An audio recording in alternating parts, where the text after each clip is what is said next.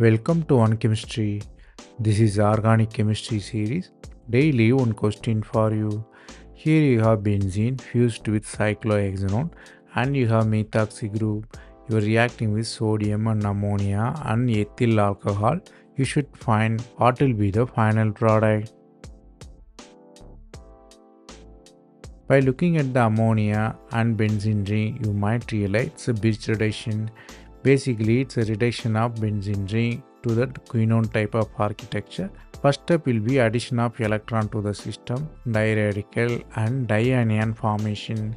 Because sodium is electropositive, continuously donate, so radical become anion.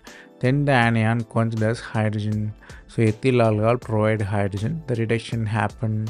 You may wonder why there is regioselectivity, why not other type of product? Because other type of addition leads to the product of dianion. Either it's near to the lone pair, repulsion will be high, so it is not possible.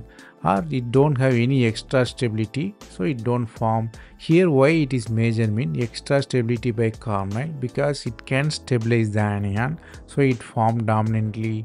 So major product is anion formed near the carbonyls. The concept you outline is regioselectivity of Birch reduction decided by the anion stability.